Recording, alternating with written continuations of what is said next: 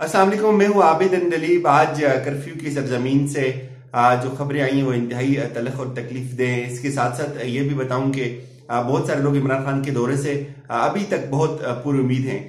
لیکن جو کرفیو کی سرزمین ہے، وہ پچاسویں روز میں ہے۔ میڈیا بہت غلط بتاتا ہے کہ میڈیا اس چیز کو یہ بتانے کی کوشش کرتا ہے کہ پانچ اگست سے کرفیو لگائے۔ لیکن کرفیو جو پریکٹیکلی پانچ اگست سے صرف سروس بند ہوئی ہے۔ اس سے پہلے اگر میں آپ کو بتاؤں یہ پچیس جولائی سے لے کے ان کی فوجی اندر داخل ہونا شروع ہو گئی تھی اور اس وقت سے ہی جتنا بھی بنیادی زندگی کا زمام کار تھا، وہ معطل ہونا شروع ہو چکا تھا۔ اس وقت سے ہی دکانیں بند ہونا شروع ہو گئی تھی۔ تو پریکٹیکلی اس کی جو دن بنتے ہیں، وہ پچاس سے زائد بنتے ہیں۔ لیکن ابھی میڈیا اس کو جو ہے، وہ سنتالیسواں اور چالیسواں دن بتاتے ہیں یہ بہت بڑی غلطی ہے۔ اس کرفیو کے کرفیو کا یہ جو سفر ہے، یہ پچاس دن سے زائد ہو چکا ہے اور اس کی جو جو بنیادی اس کی تاریخ ہے وہ پچیس اگست سے شروع ہوتی ہے۔ قتل بڑھتے جا رہے ہیں، تکلیفیں بڑھتی جا رہی ہیں۔ جو نئی خبریں یہ کہ مودی کی حکومت نے ایک نئی پالیسی بنائی ہے۔ وہ پالیسی یہ کہ ایک منظم طریقے سے لوگوں کی لوگوں پہ تشدد بھی کرنا ہے اور ساتھ ساتھ ان کی گھروں کو جلانا ہے، ان کے گھروں کو نقصان پہنچانا ہے، ان کے املاک کو نقصان پہنچانا ہے۔ ان کے املاک کو نقصان پہنچانے سے مراد یہ ہے کہ جس طرح سے ان کو ان کو نفسیاتی تکلیف دی جائے گی اور ان کے گھروں کو ان کے سامنے جلایا جائے گا، تو لوگ یہ یہ بات اپنے ذہن میں باور کر لیں گے، یہ بات سوچ لیں گے کہ بس ان کا اس زمین پہ اب رہنا مشکل ہے، محال ہو چکا ہے، تو اس زمین کو چھوڑنے کی بات کریں گے، وہ نقل مکانی پہ مجبور ہو جائیں گے، وہ اپنا گھر بار چھوڑ دیں گے، وہ شفٹ ہو جائیں گے، تو اس سے ان کو جو ان کا پلان ہے، ان کے پلان کے مطابق جس طرح سے انہوں نے ہندو جو فوجی ہیں، ان کو تقریباً تقریباً ریٹائرڈ دو سے دو لاکھ سے زائد فوجی ہیں، ان کو داخل کرنا ہے، ان کو وہاں رہائش دینی ہے، ان کو وہاں جگہ دینی ہے، ان کو کاروبار دینا ہے، ان کو نئی ملازمتیں دینی ہیں۔ ایک تو یہ جو ڈیموگرافی کی تبدیلی ہے اس میں ایک سب سے بڑا پلین یہ تھا چونکہ تشدد سے ان کا دل نہیں بھرا اور تشدد سے کشمیری باز نہیں آئے۔ کشمیری اپنے اس حریت کے جذبے سے، جذبے کو، کشمیری اپنے اس اس اپنے عزم کو ابھی تک انہوں نے کمپرومائز نہیں کیا۔ لوگ بے شک مر رہے ہیں، بچے تکلیف میں ہیں۔ کتنے رپورٹڈ ایسے واقعات ابھی تو سوشل میڈیا پہ پھر بھی کچھ نہ کچھ خبر آئی جاتی ہے۔ میں اس وقت سے یہ کہہ رہا ہوں جب سے میں نے ایل او سی سے رپورٹنگ کی تھی کہ بچے تکلیف میں ہیں دودھ ختم ہو رہا ہے۔ غذائی اجناس کی کمی ہے، دوائیاں ختم ہو رہی ہیں، ایک ایک دس منٹ کے لیے میڈیکل سٹور کھولا جاتا ہے۔ اس میں بھی میں آپ کو بتاؤں، یہ کل کا واقعہ ہے۔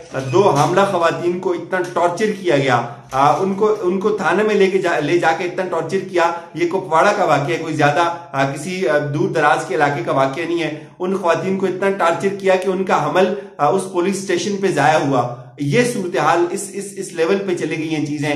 دوائیاں نہ ہونے کی وجہ سے چند سیکنڈز کے لیے، دس منٹ کے لیے ایک میڈیکل سٹور کو کھولا جاتا ہے۔ اور اس میں بھی دوائیاں نہیں ہوتی، اور اس پہ بھی لوگوں کو تشدد کیا جاتا ہے۔ لائنیں لگائی جاتی ہیں، اور اس کی ریکارڈنگ کر کے ایسی ویڈیو ٹیپس بنائی جاتی ہیں۔ ایک ایک لائن پہ ساری گاڑیاں ڈالی جاتی ہیں، اور یہ دنیا کو یہ دکھانے کی کوشش کی جاتی ہے کہ کشمیر میں ساری زندگی نارمل ہے، سارے، ساری، سارے کوئی مسئلہ نہیں ہے اور سب کچھ نارمل روٹین میں چل رہا ہے، حالانکہ ایسا بالکل بھی نہیں ہے۔ خوراک ختم ہو رہی ہے، پانی کے مسائل لوگ نفسیاتی تکلیف میں مبتلا ہو گئے اس سے پہلے انہوں نے ان کو جسمانی اذیت دی، اس سے پہلے انہوں نے ان کو بھوکا رکھنے کی کوشش کی۔ اس سے لوگ اگلے درجے میں اب نفسیاتی طور پہ تنگ ہو رہے ہیں نفسیاتی طور پہ لوگ اس اس نفسیاتی بیماری میں مبتلا ہو رہے ہیں کہ آخر یہ رات کب کٹے گی یہ یہ تکلیف کب ختم ہوگی؟ اس سے بڑا تشدد اور کیا ہو سکتا ہے کہ آپ حاملہ خواتین کو لے جا کے ان پہ تشدد کریں اور ان کا حمل تک ضائع ہو جائے اور ان کو بھرا نہ کریں ان کی ویڈیوز بنائیں، ان کی تصاویر بنائیں۔ لیکن میں آپ کو بتاؤں ان سارے مظالم میں جو سب سے پرامن جو سب سے خوش آئند اور جب سب سے حوصلہ افزا بات ہے، وہ یہ ہے کہ کوئی کشمیری بھی اس بات کے حق میں نہیں ہے۔ جتنا مرضی ظلم ہو جائے جتنی مرضی مسائب آ جائیں،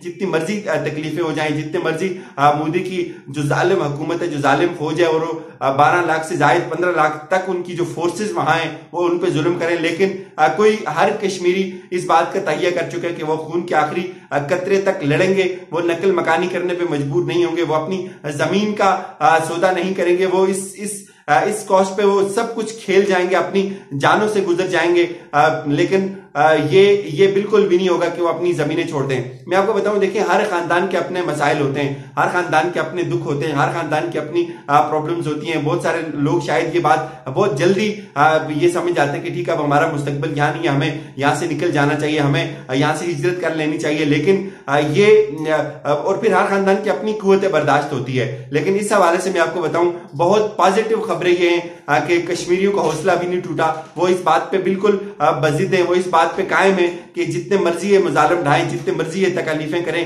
جتنے مرضی یہ ظلم کریں، چونکہ ہندوستان کی فوج کا، ہندوستان کی حکومت کا الٹیمیٹ جو ٹارگٹ ہے وہ یہی ہے کہ لوگوں کو مجبور کیا جائے، یا تو لوگ ہندوستان کو ماننے پہ مجبور ہو جائیں اور پھر جو نہیں مانتا وہ یہاں سے چلا جائے۔ اس کے علاوہ اور کوئی بھی بات وہ نہیں کر رہے۔ ان کے پاس یہی دو آپشن ہیں، یا تو آپ ہمیں تسلیم کر لیں، یا آپ یہ جو کشمیر کا سودا ہے، اس کو تسلیم کر لیں۔ آپ ہمارے ساتھ جڑ جائیں۔ اگر آپ ہمارے ساتھ نہیں جڑتے، تو پھر آپ کو الٹیمیٹلی یہاں سے یہ جگہ چھوڑنی ہوگی، اپنے گھر بار کو چھوڑنا ہوگا، اپنی زمین چھوڑنی ہوگی۔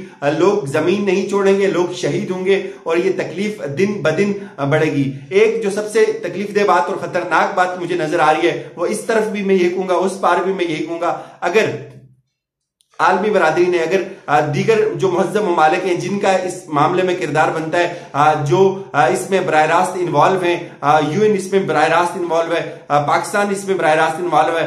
اگر یہ ظلم نہیں تھمے گا، میں آپ کو بتا رہا ہوں، آپ دیکھیے گا، یہ جو خانہ جنگی سٹارٹ ہوگی، یہ جو تباہی سٹارٹ ہوگی یہ پھیلے گی، یہ صرف اور صرف کشمیر تک محدود نہیں رہے گی، یہ یہ یہ دلی تک جائے گی۔ اس کی اس کی جو باز گشت ہے وہ پورے، اس پورے اس ایشیا سے لے کے مڈل ایسٹ تک پھیلے گی۔ یہ لوگ چین سے نہیں بیٹھیں گے۔ اگر اگر چھوٹا سا مسئلہ افغانستان میں پہنچتا ہے، اگر یہ سعودی عرب کی ایک چھوٹی سی آئل ریفائنری کو آگ لگتی ہے تو وہ پوری امت مسلمہ کا مسئلہ بن جاتا ہے۔ اس میں ایران کے لیے امریکہ ایک دم سے یہ تانا دینا شروع کر دیتا ہے۔ تو یہاں نوے لاکھ نفوس کا مسئلہ ہے۔ دنیا کو یہ مسئلہ کیوں نظر نہیں آتا؟ کشمیری اس وقت عمران خان کو ضرور دیکھ رہے ہیں۔ وہ یہ سوچتے ہیں کہ شاید یہ بات تو تھے کہ کشمیری ہر دن یہ انتظار کرتے ہیں کہ کل کا دن شاید ہوگا کہ پاکستانی ہماری زمین پہ اتریں گے۔ لیکن اب یہ ایک بڑا حوصلہ ہے کہ وہ لوگ یہ سوچتے ہیں کہ شاید عمران خان جو جائیں گے وہ ڈونلڈ ٹرمپ سے ملاقاتیں کریں گے، وہ ڈیفرنٹ کمیونٹی کو انگیج کریں گے انٹرنیشنل فورم سے بات کریں گے یو این میں بات کریں گے۔ تو ٹھیک ہے، ایک بات اس حد تک تو یہ بات ٹھیک ہے۔ اگر اس کے باوجود بھی لوگوں نے کان نہیں دھرے، لوگوں نے عمران خان کی بات کو نہیں سنا، کشمیریوں کے مسائل کو سمجھنے کی کوشش نہ کی، اور کشمیریوں کو اس اس ظلم سے اور اس استبداد سے نکالنے کی کوئی عملی جد و جہد نہ کی۔ تو یہ یقین مانیے اس پار لوگ تیار بیٹھے ہیں۔ لوگ لڑنے کے لیے تیار ہیں، صرف اور صرف وہ عمران خان کی اس بات کا انتظار کریں عمران خان صاحب نے یہ کہا تھا کہ آپ میرا انتظار کیجیے، میری تقریر کا انتظار کیجیے۔ کتنی پازیٹیو خبریں ہوں گی۔ اس کے بعد اگر دنیا نے نہ سنا تو اس پار لوگ تیار بیٹھے ہیں۔ پوری دنیا میں مسلمانوں کا درد رکھنے والے لوگ تیار بیٹھے ہیں۔ وہ جائیں گے وہ لڑیں گے، وہ شہید بھی ہوں گے، وہ ماریں گے بھی۔ اور یہ جو خانہ جنگی ہوگی، بالکل اس کا کوئی انڈ نہیں ہوگا۔ پتہ نہیں یہ کس طرف جائے گی۔ آج ہم یہ چیز دیکھتے ہیں جس طرح سے سوشل میڈیا پہ ایک بالکل نئے جہاد کا ایک ٹرینڈ شروع ہو رہا ہے۔ گو کہ یہ ایک یہ ہندوستان کے لیے انتہائی تکلیف دہ عمل ہوگا۔ جب مجاہدین جائیں گے تو مجھے نہیں لگتا کہ ہندوستان کی فوجوں میں اتنا دم خم ہوگا کہ وہ کسی کو ریزسٹ کر سکیں، وہ ان کا مقابلہ کر سکیں۔ گو ان کے پاس اسلحہ ہے، گو ان کے پاس بہت زیادہ بارڈر ہے، ان کے پاس خاردار تارے ہیں، ان کے پاس لیٹسٹ ویپنز ہیں۔ انہوں نے اپنے سارے ایریے کو بند کیا ہوا ہے کارٹن آف کیا ہوا ہے، انہوں نے اپنی ساری سرحدوں پہ باڑے لگائی ہوئی ہیں۔ لیکن جب مجاہدین چڑھیں گے تو یہ میں ہندوستان کے ان لوگوں کے لیے بھی کہتا ہوں جو مجھے سنتے ہیں اور وہ یہ سمجھتے ہیں کہ ہم لوگوں کو یہ بات بتا رہے ہیں، ہم آپ کو یہ وان کر رہے ہیں کہ اگر آپ اس چیز کو محسوس نہیں کریں گے یہ یہ تباہی آپ کے گھروں تک پہنچے گی۔ اگر یہ تباہی اگر آپ جب آپ کے گھروں تک پہنچے گی، ہندوستان آپ کی تو معیشت اپنی آلریڈی ڈوب رہی ہے۔ آپ کیسے ایک ارب سے زائد انسانوں کو فیڈ کر سکیں گے؟ آپ آج آپ کی آپ کے اندر آپ کے ملک کے اندر جاب لیسنس کریٹ ہو رہی ہے۔ آج آپ کی ملازمتیں ختم ہو رہی ہیں۔ جب یہ لوگ اندر جائیں گے، جب یہ لوگ آپ کو ماریں گے، تو پھر بے امنی پھیلے گی۔ وہ بے امنی آپ کو بھی تباہ کرے گی، آپ کی معیشت کو بھی تباہ کرے گی۔ اور آپ کا یہ جتنا بھی یہ جتنا ظلم اور تشدد ہے، اس کا ایک ایک کا حساب لیا جائے گا۔ تو وہ ایک انتہائی، وہ جو خانہ جنگی ہوگی، اس کا کوئی اینڈ نہیں ہوگا۔ وہ وہ دلی تک اس کی آواز سنائی دے گی۔ یہ زیادہ دور کی بات نہیں ہے۔ ایک سال کے اندر اندر ایسا ہوگا، میں آپ کو یہ بتا رہا ہوں۔ اگر ہندوستان اپنے اس فیصلے کو واپس نہیں کرتا، اگر دنیا اس میں انٹروین نہیں کرتی، تو پھر لوگ، پھر میں آپ کو یہ بھی بتاؤں کہ پاکستان بھی لوگوں کو اندر جانے سے نہیں روک سکے گا۔ کشمیریوں کو کوئی نہیں روک سکے گا۔ ہم جائیں گے۔